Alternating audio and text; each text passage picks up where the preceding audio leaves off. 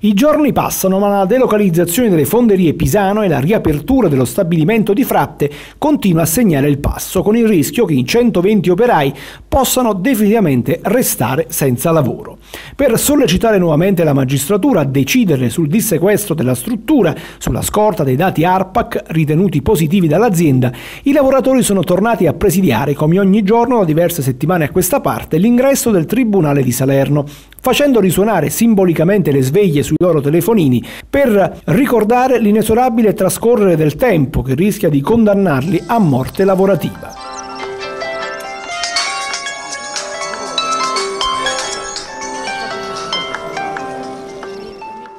A sollecitare il Tribunale e a decidere anche i sindacati. Ormai da diverso tempo facciamo presente questa problematica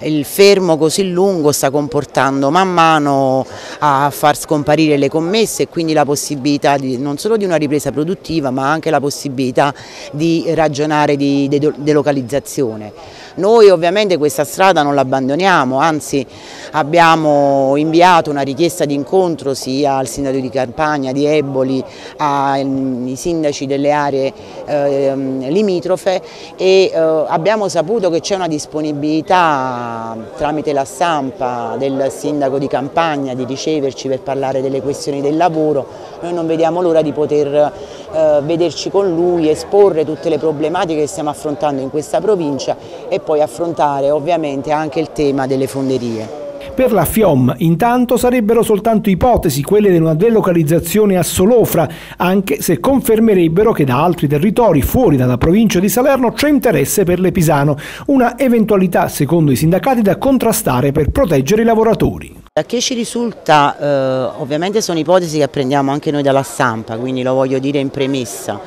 da che ci risulta la zona di Solofra in particolare eh, pare che per la zona industriale comunque ci sia un vincolo alla, eh, alle industrie strettamente legate alla concia, quindi lì la vedo un'ipotesi un po' um, particolare. Poi, tutti gli approfondimenti si possono sempre fare. In ogni caso noi ci terremmo eh, a mantenere questa produzione nella provincia di Salerno esplorando eventualmente laddove non ci siano le condizioni per campagna altri siti in modo che eh, comunque si mantenga questa industria e questo lavoro qui in provincia.